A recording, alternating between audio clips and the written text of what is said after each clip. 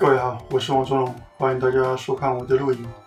这一次要为大家介绍的是《银河之星》这款游戏。我第一次玩是玩 Saturn 版，这一次我就想趁着 Mega Drive Mini 二代收录了这一款 MD-CD 版的《银河之星》，剪辑一下游戏中的故事，让大家欣赏一下。那么，先来看一下游戏介绍吧。发行年份是一九九二年，由 Game Arts 所呈现，作为代表 Mega CD 的 RPG 系列第一部作品，憧憬着传说四英雄之一龙之主达因的少年亚雷斯，与青梅竹马卢娜，一只长有翅膀的奇妙猫咪纳露，一同踏上冒险之旅。好，这就是故事的简单介绍。那么进入游戏吧。先来看一下游戏的开头影片。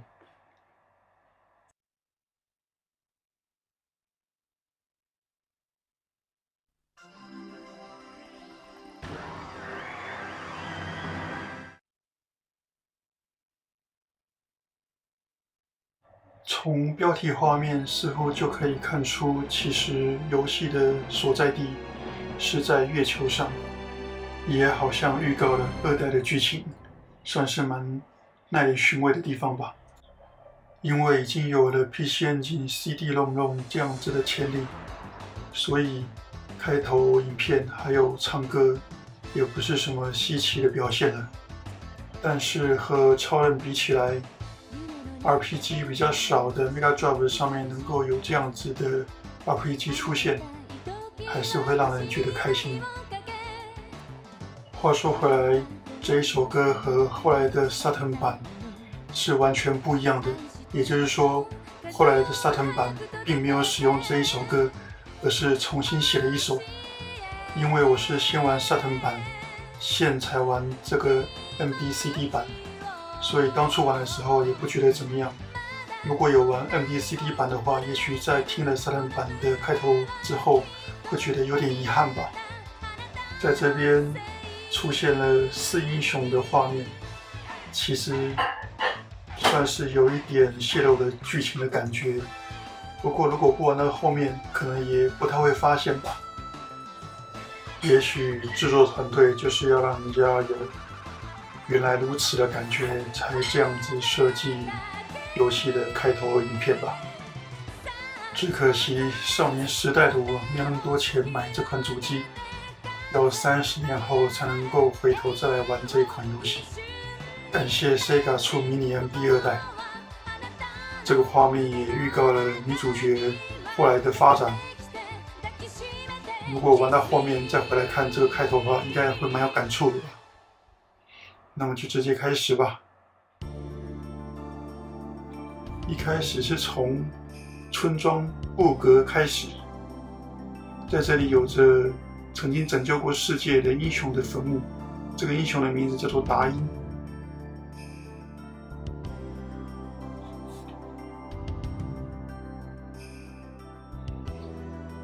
这里就是达因生长的故乡。然后有一个少年憧憬着这个英雄，这个少年的名字叫做阿雷斯。就在阿雷斯参拜坟墓的时候，突然后面传来了。叫他的声音，原来是一只小动物。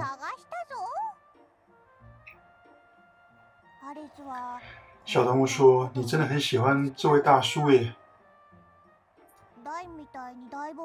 你很想要像达因一样到广大的世界冒险吧？我知道这是你的梦想，不过整天在这边参拜坟墓，我觉得好无聊。”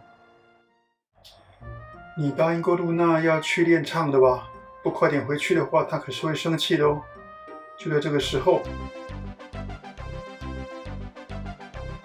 爱丽丝，是我啊，拉姆斯，你在这里呀？我听到了很不得了的事情哦。只要去龙的洞窟，龙就会给你很大块的钻石哦。你不是说想要冒险吗？我们就去龙的洞窟吧。好。那就决定了，我先到家里准备一下，我们之后再见吧。为了要和拉姆斯一起去龙的洞窟，主角就要先向女主角报告。这个时候，女主角出现了。他说：“你怎么这么慢呢，阿丽丝？你见到了拉姆斯吗？他老是在跟你讲一些奇怪的事情。我们要准备唱祭典的歌了，开始练习吧。我先开始唱。这个地方突然就用满版的图片来表示，我想当初在玩这款游戏的玩家应该会觉得蛮震撼的吧。”毕竟前面的开头影片都还是那种切割的图片，这个时候出现满版的画面，会让人觉得蛮有魄力感的。话说回来，主角是弹竖琴的，我忘记沙腾版是不是又改成其他乐器了。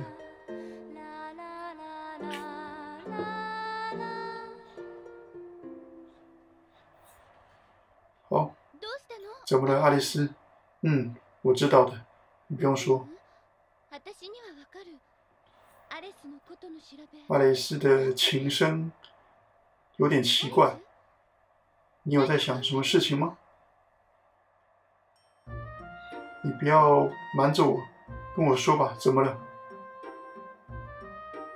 我跟你说，露娜，阿雷斯他要跟拉姆斯一起去蓝龙的洞窟，龙的洞窟。不可以，阿雷斯，那地方太危险了。不管我我说什么都没有用，是吧？好，那我也跟你一起去。阿雷斯啊，老是会乱来，我很担心的。久等了，我终于做好准备了，我们走。哎呀，露娜也要去呀，没关系啦，那我们就去龙的洞窟吧。到了龙的洞窟之后，在黑漆漆的洞窟中，出现了两只闪闪发光的眼睛。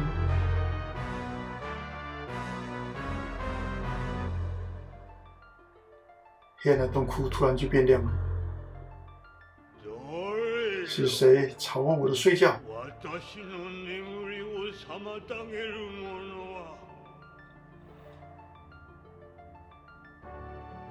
哦，好久不见的旅行者，我是白龙法伊蒂。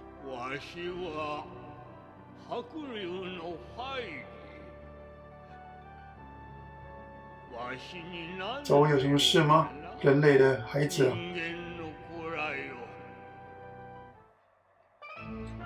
嗯，你叫做阿丽丝吗？你的眼神不错，很像是当初答应。的那个眼神呢，少年啊，这只龙的戒指你就收下吧。如果你有兴趣的话，就离开这座岛去大陆吧，然后去经验，然后成长，再来找我。我就收下龙的戒指，白龙。我我想要钻石，钻石，不不行就算了。这种东西为什么人类会想要呢？这只是我的大，嗯，还是不要说好了。好，这是钻石，给你吧。收到龙钻石，一行人就来到了村庄中的道具店。想要把钻石卖给店家，但是这个钻石店家觉得太高贵，他受不了，就建议主角一行人到大的城市，例如像美利比亚那种地方去买。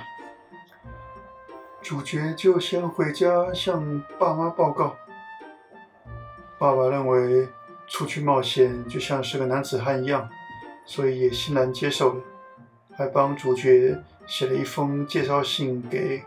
港口旅馆的老板要他开船载主角一行人过去。在旅途中，主角一行人遇见了一位也是个冒险者，叫做雷克。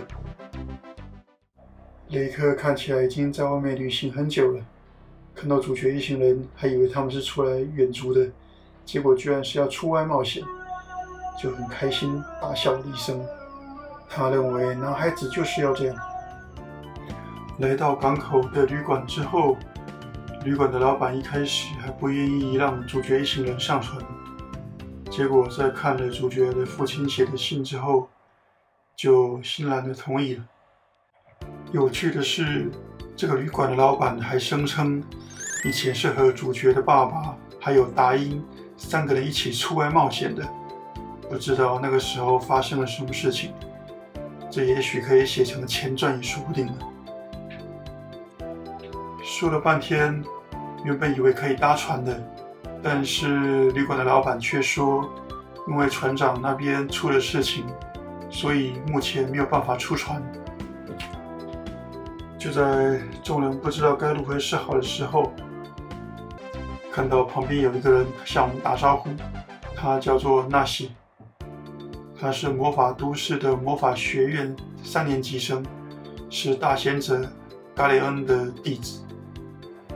这个人看起来还蛮臭屁的，自以为会使用魔法就很得意的样子，还想说这种乡下地方他根本就不想待，想要快点回大都市去。不过，当他知道主角一行人也是想要去美利比亚之后，就希望主角一行人帮助他拿他手上的一把杖——水流之杖，去和人交换航海图，这样子船长就可以出海了。于是，主角就和他一起去找那位需要这把杖的人。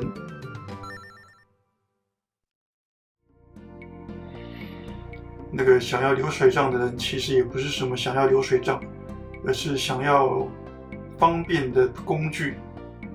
那我们就把这把流水账交给了这个人，那他就给了我们航海图。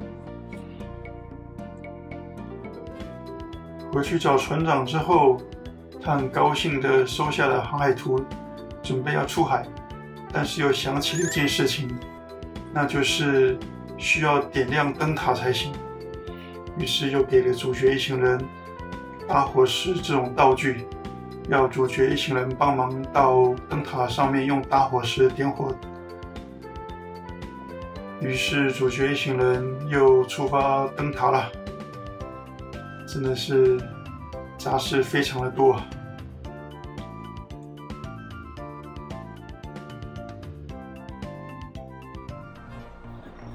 经过了一番努力，终于点亮了灯塔上的火。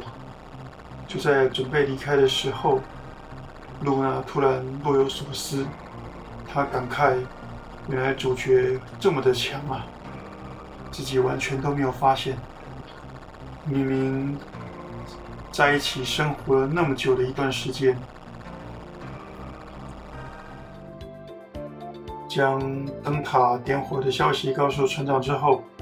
他终于可以出船了。他说：“这个恩情啊，他绝对不会忘记的。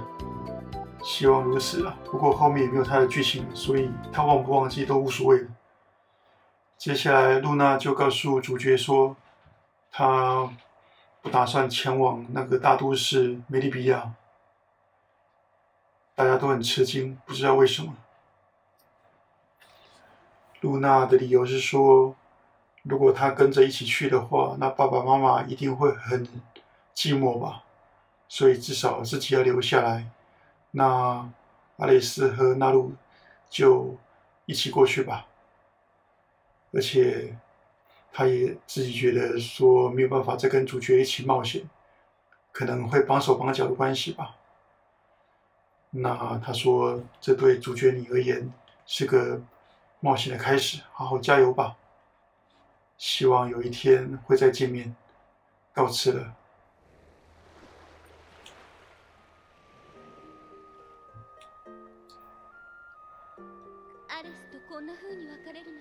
他没有想到会这样子和爱丽丝分别。他说：“你一定要回来呀，我会在那边等你的。你要答应我。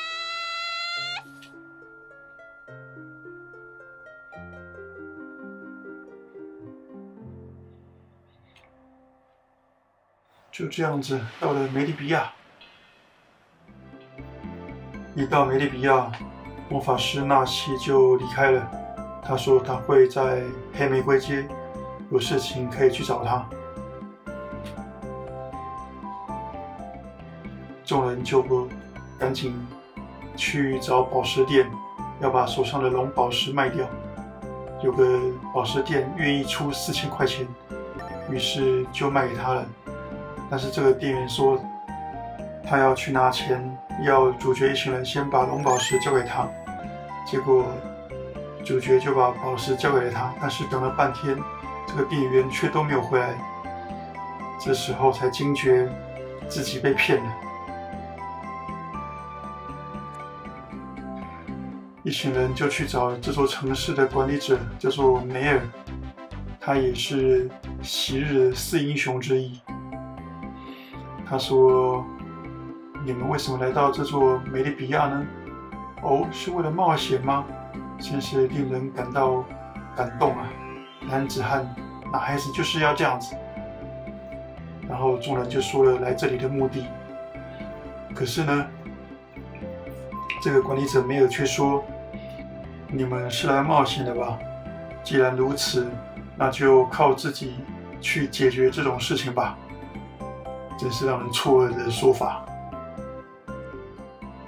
在酒店还可以将这件事情告诉歌女，歌女会说：“那我就特别唱一首歌给你听听吧。”这时候选要听的话，她就会到舞台上唱歌跳舞。其实这个游戏里面到处都有像这样子的歌女，可以听她唱歌。那大部分的歌声听起来都差不多，但是其中有唱的比较差的，也蛮有意思的。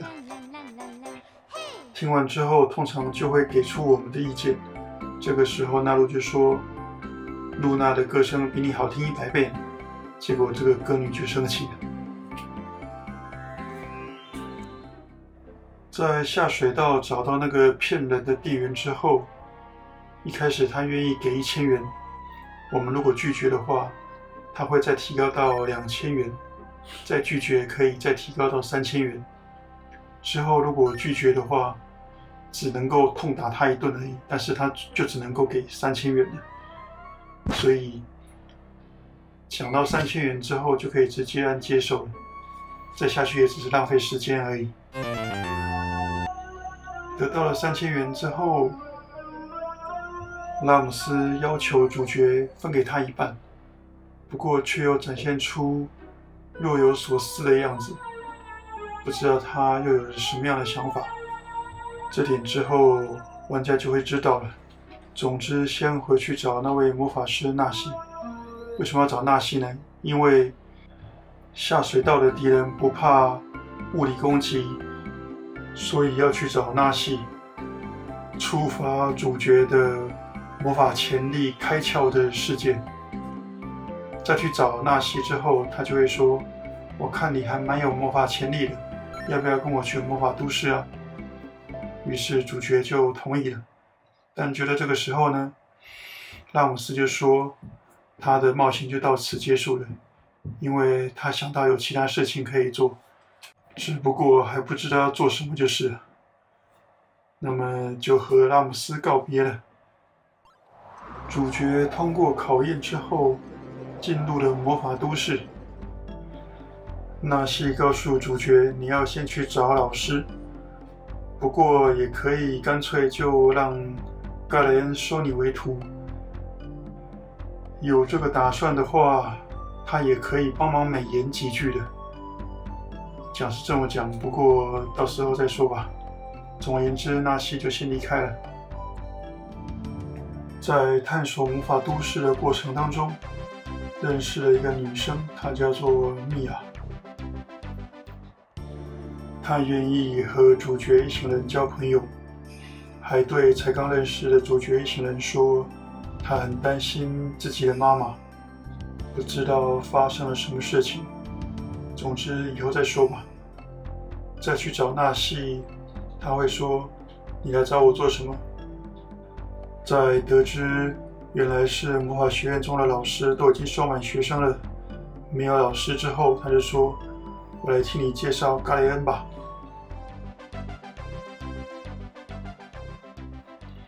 嘎雷恩出现了，欢迎你来到魔法学会。我就是宰相嘎雷恩，我已经听纳西说过了。嗯，听说你蛮照顾他的是吧？我先代替他向你道谢。盖雷恩说：“我会替你向这座魔法都市的管理者雷米利亚说几句，让你能够加入的。不过在这之前，他要先考验一下你的实力，然后就接受了这个考验的任务。接下来要去一个小渔村，那里有一个自称龙主的人，在这边作威作福。”让村人感到很困扰，希望主角能够过去解决他。然后这个魔法师就说：“我就特别帮你一次吧。”然后如果选择愿意的话，他就加入了。来到了渔村，找到村长。村长说：“之前在湖的中央的小岛上住了一个魔法师。”他自称自己是龙族，在那边作威作福，大家都拿他没办法，请主角一行人帮忙。这个时候呢，旁边有个女生，叫做杰西卡，她看起来好像很活泼的样子。他并不是这个村子的人，而是来，而是来除害的。他是个实习的神官，会使用恢复系的魔法，然后他也会掌舵，可以帮我们掌舵。虽然杰西卡这么有能力，但是村长却不要他去除害，所以杰西卡不知道该如何是好。不过在得知主角一行人是要去岛上除害之后，他就希望能够参加，于是就让他同行了。另外，杰西卡还提到另外一件事情，就是他之前跟一个男生吵架。可能也是因为这样子的关系，才会来到这种小渔村，借着除害来散心吧。至于那个男生是谁，之后就会知道了。来到湖中的小岛，找到这个自称龙主的人之后，就要跟他对决。基本上，这个游戏的敌人都不会太难打，只要注意到角色的血量的话，应该是不至于失败才对。打倒了他的手下那些龙之后，他却说：“啊，我才不是什么龙主，请你们原谅我吧。”那这个时候也只能原谅他了，就放他一马吧。放他一马离开这座小岛之后呢，杰西卡就会跟主角一行人说：“啊，打倒了这个地方的恶霸之后，他也觉得心中舒坦了不少，于是就开心的离开了。”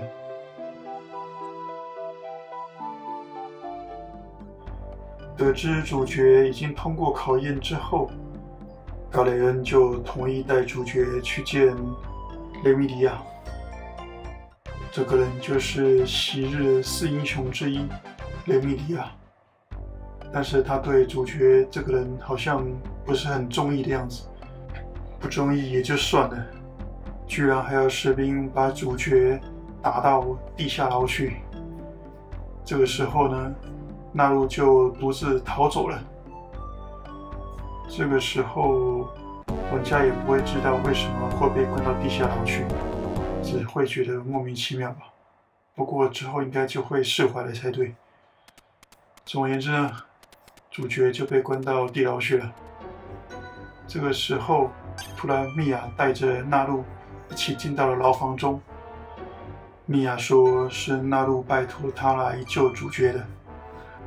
不过，米娅也是有求于主角的，她需要主角手上的龙的戒指，这样子才能够登上银塔的上层。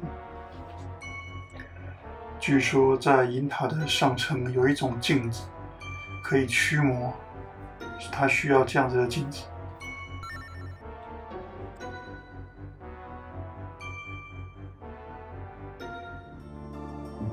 在银塔取得镜子之后。接下来就要去水晶塔。米娅说，她的妈妈就在那里。一行人来到了水晶塔的下面，他们见到了纳西。纳西说，他希望能够帮助米娅，即使这会承受死刑之灾。于是就让他加入了。米娅也对纳西表达了感谢之意。来到了水晶塔，见到雷米利亚，他说：“就算是自己的女儿，也不会轻易的饶过的。”但是米娅这个时候拿出了镜子，驱除了他身上的魔障之后，现出了原形。原来是有人假冒了雷米尼亚。这个假冒的人，他叫做祖诺比亚。他是住在边境的魔族的。佐诺比亚说：“可恨呐，就差一点就可以掌握魔法都市了，竟敢破坏魔法皇帝的计划，要给你们好看。”说完这句话之后，就丢下了几个部下逃走了。他的部下也不能打，正常玩应该都可以打过才对。打完之后。盖雷恩就会说：“啊，我居然会这么的不小心，不知道接下来该怎么办才好。”在思考一下之后，决定要主角带他去见白龙法伊蒂。他说：“法伊蒂应该就在你住的那座岛上吧？希望我们可以带他过去。”同意之后呢，他说：“他要先到梅迪比亚去见老朋友，到时候就在那里会面吧。”听到这件事。纳露也很开心，因为又可以见到露娜了。所谓的梅迪比亚的老朋友，当然就是梅尔了，因为他们都是昔日的四英雄嘛。这个时候会看到梅尔的旁边有杰西卡，杰西卡是梅尔的女儿。她一开始还讲话很粗鲁的，但是马上就回过神来。用很端庄的口气说话，这个是别人如果懂日文的话，应该会觉得蛮好笑的。和梅尔交谈时，他会说，主角的眼神就让他想起了当时的答应，让他觉得很怀念。同时，他也感慨地说，像雷米尼亚那样子了不起的魔法师居然会中招，那魔女佐诺比亚还有魔法皇帝不知道是什么来历。不管怎么样，他要主角先在他这里睡个一晚，明天再出发。在睡梦中，主角梦到了露娜，她似乎在向主角求救，于是主角就惊醒了。和纳露一谈之下，才发现原来他也做了一样的梦，希望。不会有什么坏事发生就好。和盖雷恩会合之后，一行人就出发前往主角的故乡了。这张航海图其实在这个游戏中是第二次出现，不过因为想要节省这个影片的时间的关系，我就把第一张航海图给删掉了，只留下这一张。回到家乡之后。第一件事情就是先去参拜达因的坟墓，但是卡雷恩看起来对于这个坟墓很不在意，而且他还说他不允许达因不在的世界。接着就来看看露娜吧。露娜看到了阿丽丝就觉得很开心、很感动，没有想到他会再回来看她。而纳露也很开心，说。又能够再见到露娜了。露娜看到爱丽丝身旁有另外一个人之后，就询问他是谁。结果在得知他就是四英雄之一的盖雷恩之后，就急忙的自我介绍。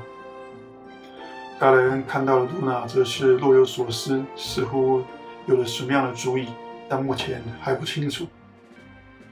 来到了龙的洞窟之后，盖雷恩对着主角说。这个世界的核心曾经是女神，还有龙族，但是他们并没有足够的力量守护这个世界，如果有的话，达因就不会牺牲了。所以，与其是这样子，那还不如一开始就由最强的人来守护这个世界。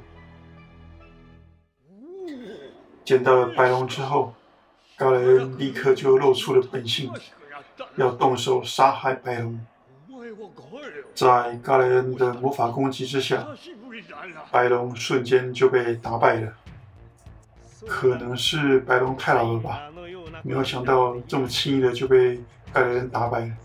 这样子也算是守护世界的龙主，让人觉得蛮诡异的。高莱恩打倒了白龙之后，就说：“只要再得到女神，世界就是他的。”所以说他之后还要再得到女神就对了。这边的故事转折，我觉得没有做得很好。盖伦在讲完前面的话之后就离开了，但是游戏中并没有他离开的描述，所以就让人觉得有点突兀。快要死去的白龙就告诉主角说：“我已经没有能力拯救女神了。我不知道阿丽丝你有没有能力当上龙主，但是我想要把这个世界还有女神托付给你。”说完这些话之后，白龙就赐给主角取得龙装备的资格。如果主角能够觉醒成为女神的守护者，就能够使用龙的装备。首先拿到的龙的装备是白龙的翅膀，接着去找露娜，就会发现露娜好像有危险了，于是就赶快过去看一下。结果又是这个魔女佐诺比亚。佐诺比亚说。因为魔法皇帝盖雷恩认为这个女生很可能就是女神，所以要把她带走。至于主角呢，则是要带到矿山去，让她在那边做工做到死。于是魔女就叫出了她的手下。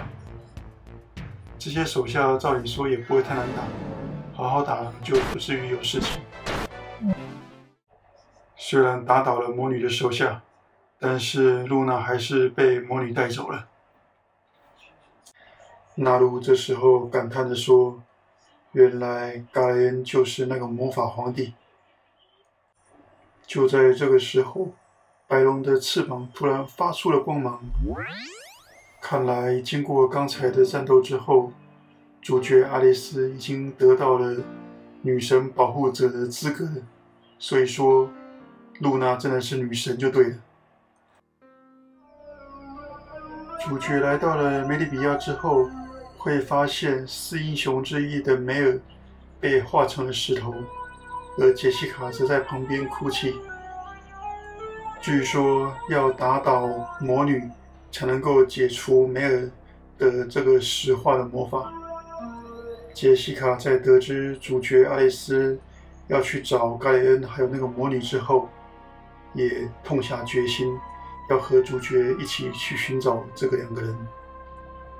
结束了这边的对话之后，接下来就要去魔法都市。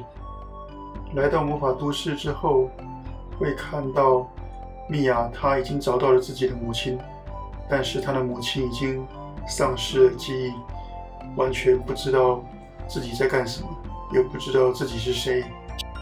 不过，米娅虽然遭遇了这样子的事情，却也同情着杰西卡的遭遇。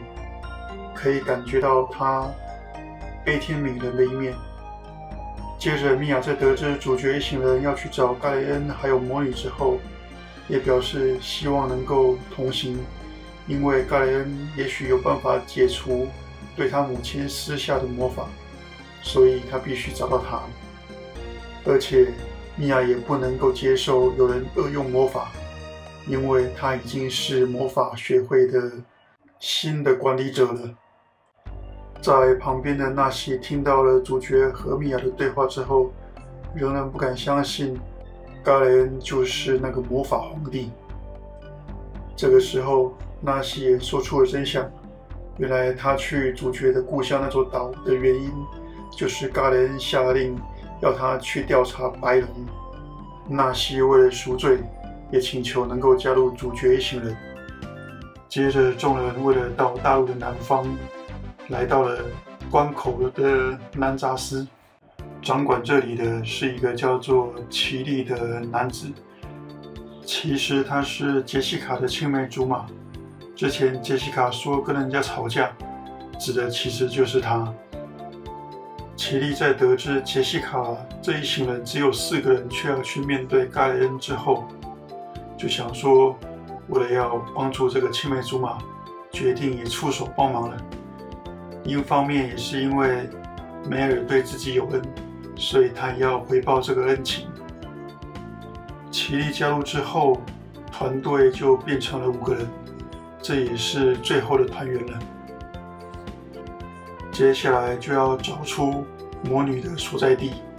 在打听之下，有人说有个叫做达门的人，他应该知道魔女的所在地，他就住在塔达门塔。前往这座塔的路途中间隔着一道海峡，众人没有办法到达。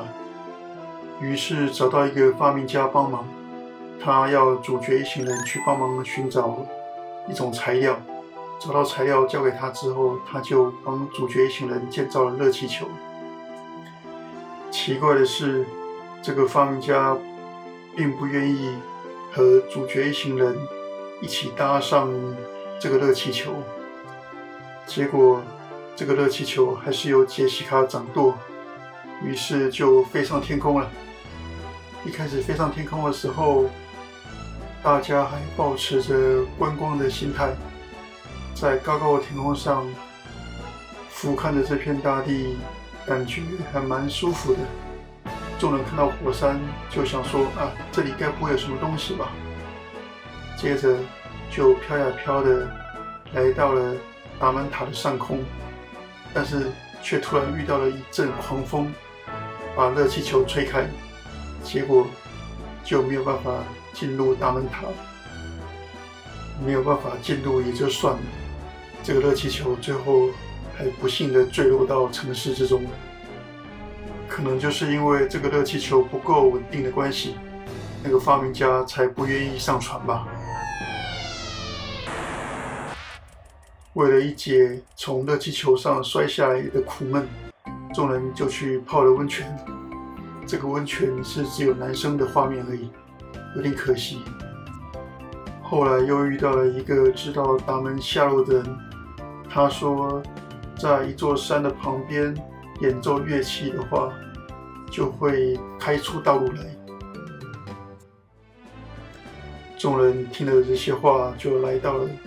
那个人所讲的地方开始演奏乐器，结果眼前的一座浮岛突然的愿意搭载主角一行人。原来那座浮岛是一只巨大的乌龟。乌龟载着众人来到了达门塔的下面。上塔找到达门之后，他会告诉主角一行人说，那个魔女正在一座城市。她正要挟持一个歌女，于是众人就立刻赶过去。在这个城市中，终于见到了魔女，但是他还是把那位歌女给带走了，而且他还撂话说，如果要找她的话，就到边境去吧。主角一行人也没有办法，就只好继续冒险下去了。接着呢？就要前往刚才坐热气球的时候看到的那一座火山，在这里可以得到红龙的装备，就是红龙的盾牌。这个世界有五头龙，呃，除了白龙，其他的龙基本上都在之前的战役中丧生了，所以才会以这样子灵魂的状态出现。接着，众人又去温泉休息一番。这次就是女性角色的图片了。然后再来到蓝龙的所在地，蓝龙当然也已经消灭了，只剩下灵魂。他希望主角一行人能够拯救这个世界，然后就给了主角龙的装备头盔。得到龙的头盔，就要返回的时候。魔女突然在这个时候出现了，结果他要求纳西动手。原来纳西根本就是先和魔女沟通好的内奸，结果他就带着龙的头盔一起离开了。纳西这样子的行为让纳鲁觉得非常的不高兴。不过即使是这样子，米娅还是选择要相信纳西。玩到这里，我是觉得。如果要设计这样的内奸的话，为什么不选择动手就好了？把主角这一行人干掉，就没有后顾之忧了。真的是。接着，主角一行人来到了文明的最边境的村子，这里正流行的某种奇怪的病，可能是那个魔女搞的鬼。在村子里，主角一行人遇到了草原的子民，叫做铁木真。他还带着一个女的，叫做皮利亚。铁木真正在寻找有能力的战士，他看上了主角，要求一战，于是就答应他了。一阵对峙之后，双方势均力敌，铁木真也没有那种要打个你死我活的心意，于是就收手了。铁木真对主角说：“你是我遇过第二强的人。”至于第一强的人，这是一个奇怪的大叔，他叫做雷克。至于铁木真他们为什么要寻找战士呢？原因是流行病据说要有强力的战士才能够解救他们，所以他们才出来寻找。接着在村中又遇到了之前遇到过的雷克，他告诉主角一行人说，如果要成为龙主，就必须去女神塔。但是这座塔只能够从空中进入，能够做出可靠飞行船的人只有发明家麦特。但是麦特讨厌人，所以最后就决定由雷克还有主角两个人一起过去。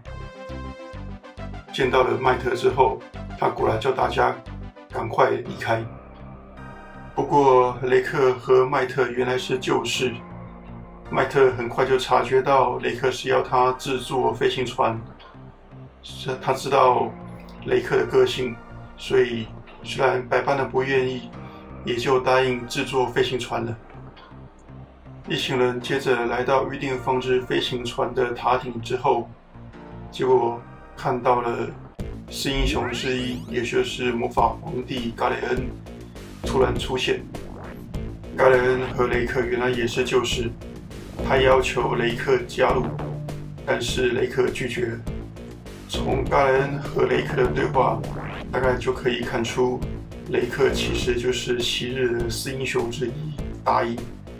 嘎雷恩看起来满心想要让达因恢复昔日的魔法能力还有力量，但是达因自己却不这么想。达因要帮助阿雷斯阻止嘎雷恩，嘎雷恩就对阿雷斯说：“如果你想要打倒我，就要变得比我更强才行。”但是，就算是变成了龙主，也是打倒不了魔法皇帝嘎雷恩我的。我将成为世界最强的支配者。下次再见的时候，就是阿丽斯尼的死期了。雷克随后跟爱丽丝说：“凭现的我和你还打不到他，不是战斗的时候。你必须更增进自己的力量。如果你有决心帮助那位叫卢娜的少女，那么就应该不会误用力量才是。”一回到村庄，雷克也就是达因就决定要先回家休息。他还称赞阿雷斯很有资质，要好好努力。回到雷克所在的房子和其他伙伴会合之后，突然就看到纳西回来，他似乎身受重伤，并且告诉大家接下来要怎么走的资讯，同时还带回了青龙的头盔。虽然纳鲁并不相信他。但是主角还是选择相信，因为纳西是为了打听出如何去边境的消息，才假装和魔女合作的，却在逃出的时候被魔女打成重伤。那么接下来就要去草原那里取得当地的圣楼水，再将圣楼水倒到转送泉水中，这样子就可以转送到边境地区了。一行人来到草原的聚落，发现当地的人民几乎都得到了流行病，就连之前遇到的霹雳亚也已经病倒在地。铁木真为了解决这场流行病，已经自己一个人前往恶鬼洞窟去了。原来恶鬼洞窟中有女神封印，但是那个女神的封印不知道为何被人家毁坏了，所以恶鬼才会出现，然后散播了流行病。就在这时，米娅突然也受到流行病影响而病倒，于是杰西卡就留下来照顾米娅，就只有剩下的人前往恶鬼洞窟。于是主角奇力还有纳西三个人就动身前往恶鬼洞窟了。在闯荡恶鬼洞窟的途中，会遇到田木真，他也正巧需要人手来帮忙，于是就加入了团队，一起对抗。接下来的恶鬼，恶鬼并不难打，只要正常玩的话，应该多打得赢才对。打倒了恶鬼，就可以取得女神封印，接着就将女神封印带回草原的聚落中，将女神封印交给当地的巫师。巫师施展法力启用了女神封印后，流行病就解决了。因为聚落的规定。铁木真必须接受惩罚，但是铁木真却甘之如饴。他第一个想见的就是他心爱的皮利亚，于是就跑了出去。原本留下来照顾米娅的杰西卡已经病倒，不过在女神封印的威力下，也都恢复了。米娅和杰西卡归队之后，接着就向村长询问渗漏水的所在。结果，村长带大家到一座井口前。村长说：“从这座井取出的水就叫做渗漏水。早知道如此，也许直接从这井口取水的话，就不用管什么恶鬼洞窟了。”接着，借由转送权来到了边境之后，到了边境的村子叫做嘎迪恩。据说，在嘎迪恩村子的附近有黑龙洞窟。于是众人就动身前往黑龙洞窟，在黑龙洞窟中遇到一个人，他问说：“你们是不是想要成为龙主？”回答是之后，他就将勇者的信物交给了主角。他说：“将这个信物拿给马克村的村长看，因为洞窟中也没有其他东西了。”就离开了黑龙洞窟，继续往塔隆镇去。塔隆镇是个矿山。在这里有许多人被魔法皇帝强迫劳动。塔隆镇再往下走就是马克村，还有路易德镇。一行人在矿山之中发现了主角阿丽丝的故乡中的居民，原来也被关在矿山之中工作。在这里，他见到了父母亲。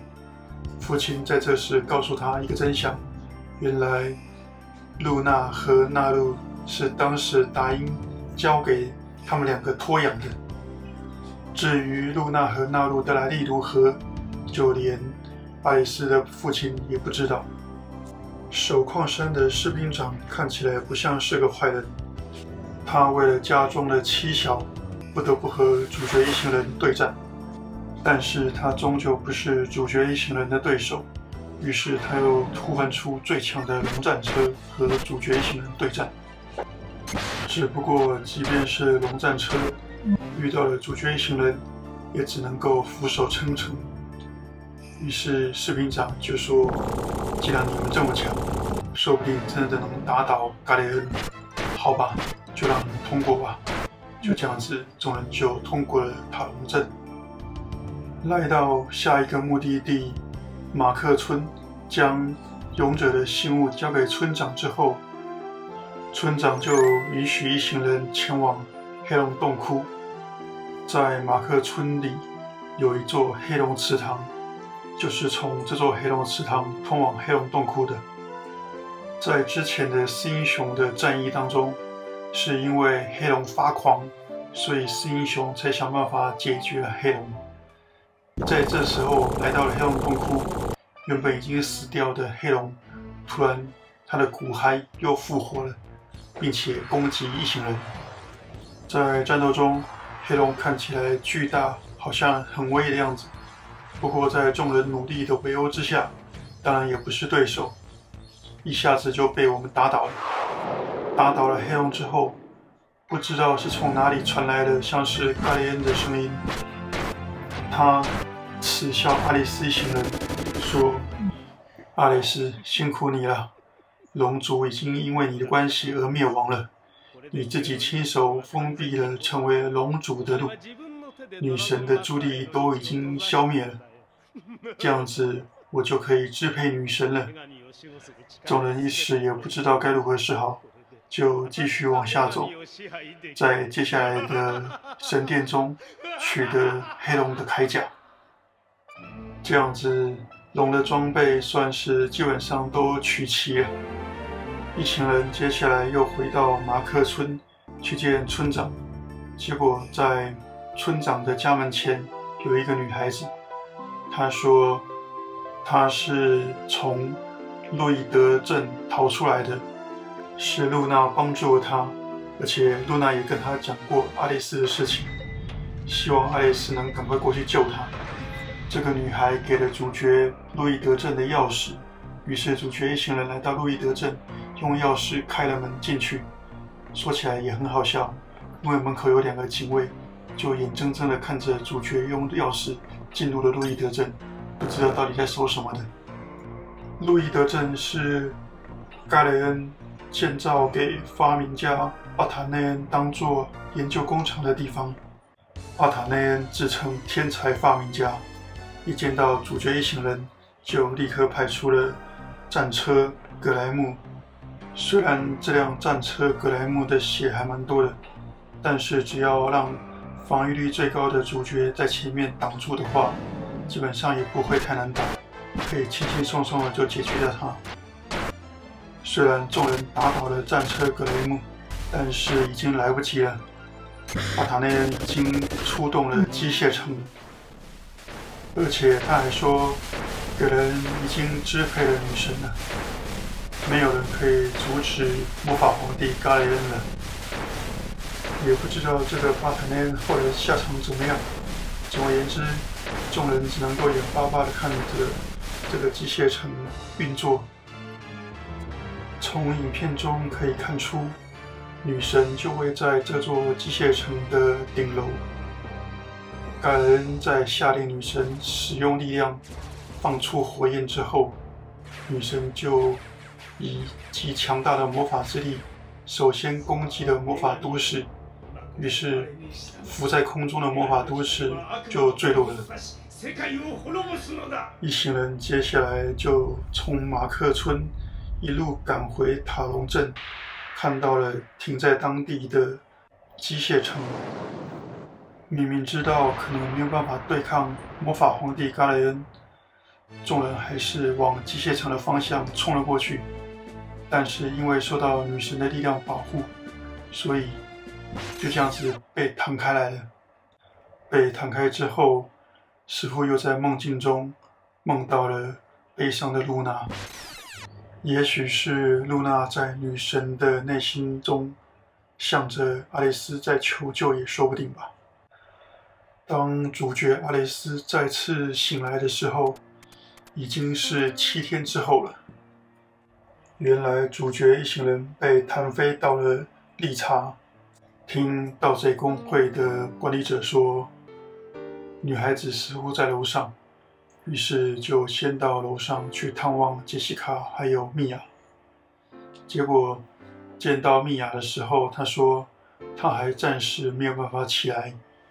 听说纳西在楼下受到了打击，希望爱丽丝能去激励她一下。另外一边的杰西卡也一样起不来，他也听说奇丽正在楼下的酒店，要。阿里斯过去看他一下，来到了楼下之后，会看到纳西正在下面的酒吧对着墙壁，不知道在做什么。跟他讲话之后，他就说：“我们是不可能打赢嘎雷恩的，所以他不想再战斗下去了，希望嘎雷恩能够放他一马。”另外一边的奇力也是差不多的状况，他认为他是不可能赢得过嘎雷恩的。而且他又有女神的帮助，城又那么大，根本不可能赢的。只要能够在自己的山寨中当个盗贼王，就心满意足了。因为如果死掉的话，也就不能够再像这样子喝酒了。所以他要忘情的喝酒，忘记之前的事情。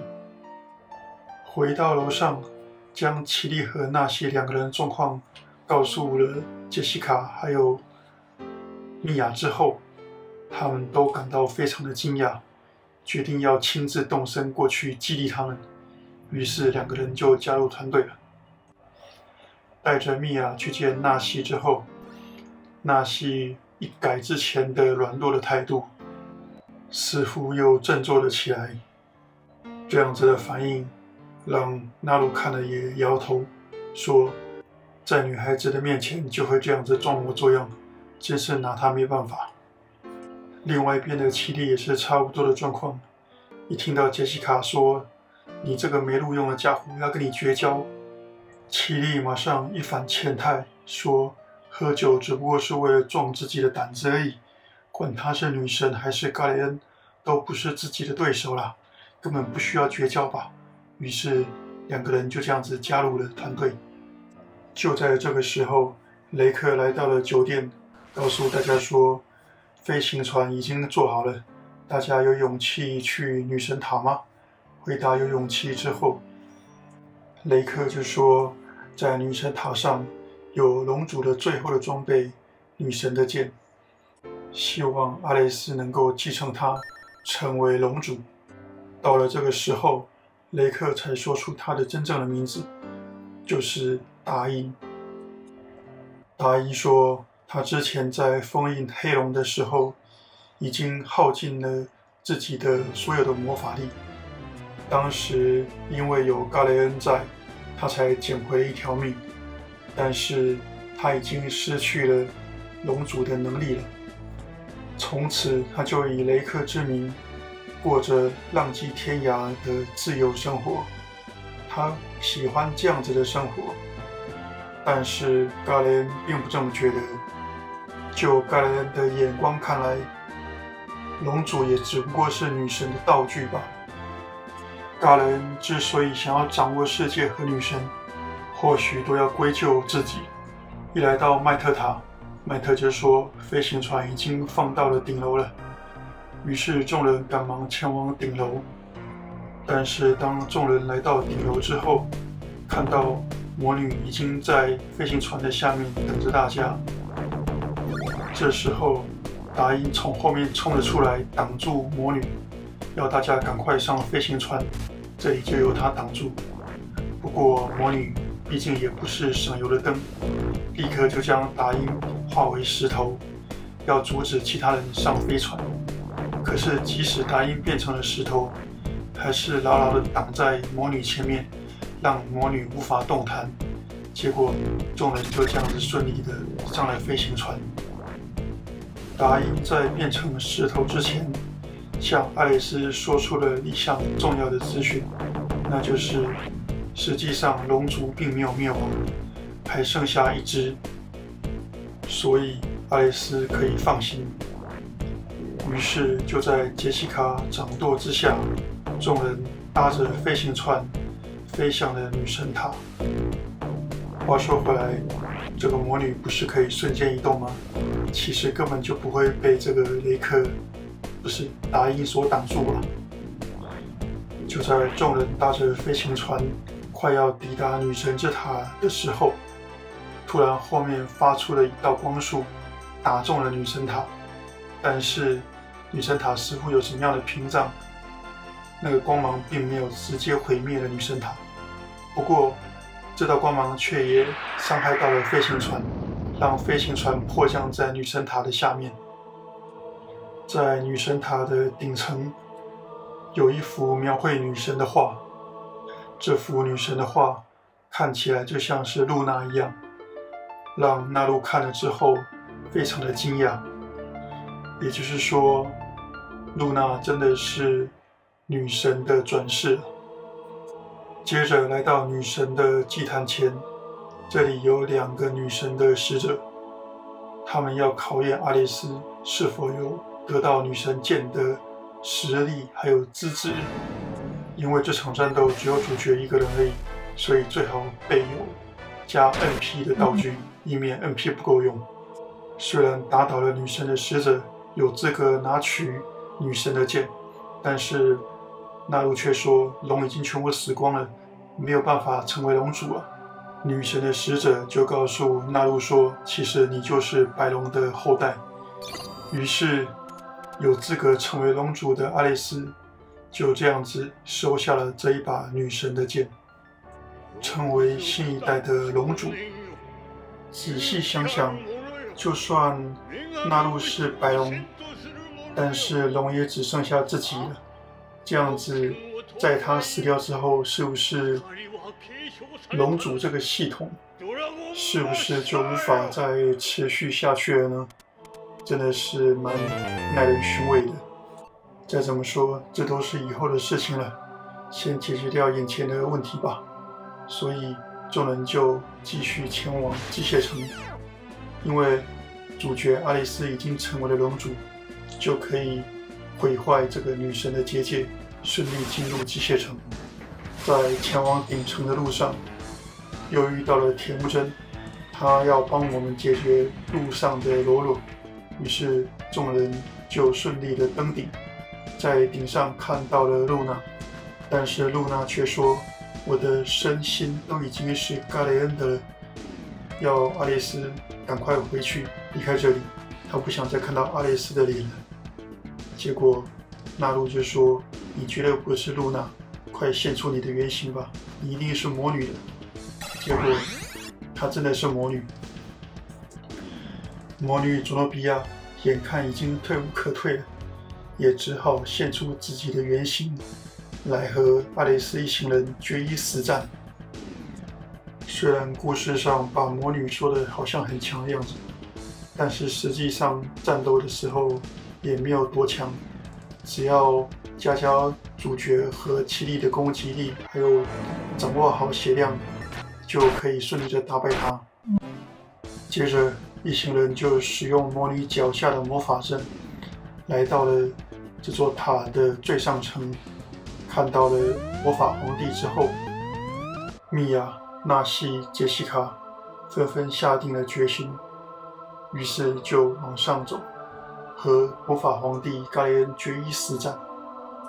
魔法皇帝见到了阿雷斯一行人，说：“阿雷斯，不，龙主，又是你要来阻止我吗？但是。”我是魔法皇帝，如今也是女神的支配者。我要把你们送到地狱去。你们在我的眼中只不过是像蝼蚁一样的家伙罢了。结果，魔法皇帝盖恩话虽然说的漂亮，但是他在战斗中的表现也不怎么样，三两下就被我们轻轻的热，让魔法皇帝盖雷恩饮恨之后。一行人终于见到了被控制的女神，她仍然处于被控制的状态下，不知道该如何帮助她。就在这个时候，两个女神的使者从天而降，他们告诉爱丽丝说：“虽然你们已经消灭了魔法皇帝嘎雷恩，但是女神的内心仍然被封闭在黑暗之中。”不过不用担心，我们两个女神的使者将会让女神觉醒成为真正的女神。听到这样子的话，纳露很开心地说：“这样子，露娜就可以恢复成原本的露娜了。”不过女神的使者却泼冷水，说：“露娜只不过是女神的暂时形态，一旦她恢复了之后，露娜的人格还有记忆就会消失。”为了拯救女神，这也是不得已的。可是就在两个使者要施法恢复女神的时候，突然有魔法攻击了两个使者，结果两个使者就这样子被干掉。攻击女神的使者的人，不用说，当然就是魔法皇帝嘎雷恩了。嘎雷恩语带嘲笑的说：“龙主的实力不过尔尔嘛，就让你看看我真正的力量吧。”然后，卡雷恩就说：“我不要当人啦！”嘎雷恩就这样子化成了怪物的形态。他在战斗的时候会瞬间移动，所以不管人在哪里，其实都没有办法阻挡他的进攻。玩家只能够尽量的让自己的血不要低于一半以下，以免遭到他攻击的时候被瞬间打败。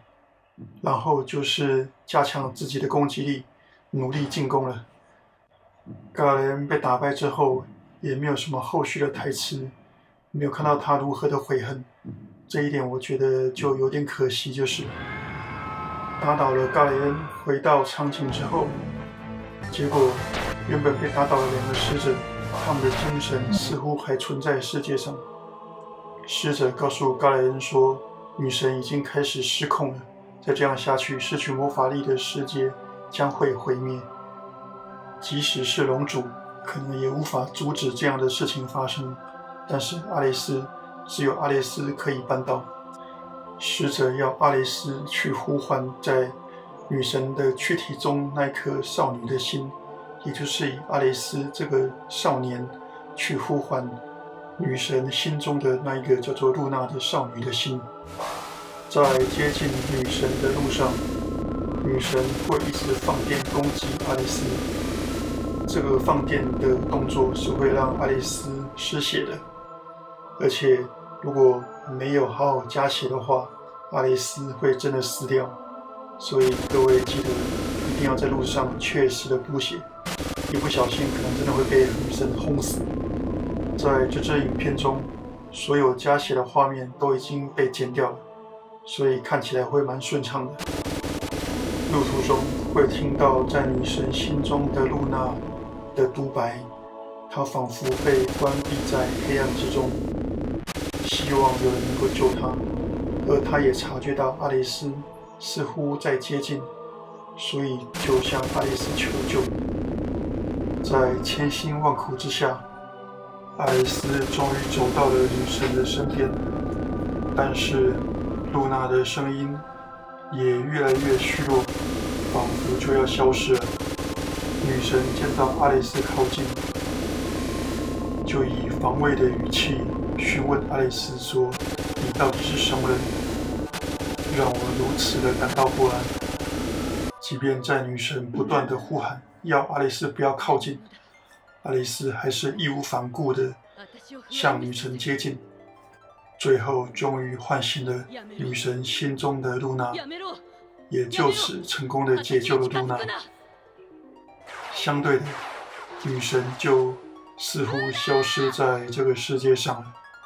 也许这个故事就是告诉我们说，依靠女神还有龙族以及龙族的时代已经结束了，接下来就是靠人类自己。独自发展还有繁荣的时代了，真是可喜可贺。至于露娜在这边说的话，是说她在这段时间仿佛做了一场很长很长的噩梦，但是他知道阿雷斯终究会来救他的，最后也终于救到了他。故事就此结束，谢谢大家的收看。